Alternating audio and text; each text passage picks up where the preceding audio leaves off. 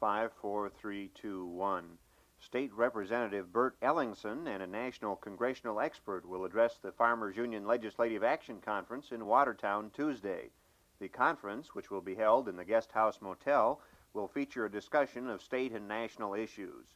Reuben Johnson of Washington, D.C., will cover the current legislative developments and projections in the Congress. Johnson is National Legislative Director for the Farmers Union. Ellingson, who is chairman of the House Taxation Committee, will address the noon luncheon. Among state issues to be discussed are tax reform, corporate farming, constitutional revisions, probate, and transportation. The Watertown meeting will begin at 9:30 Tuesday morning and close in the afternoon. The meeting is open to the public. For the South Dakota Farmers Union, this is Allan Burke reporting from Huron.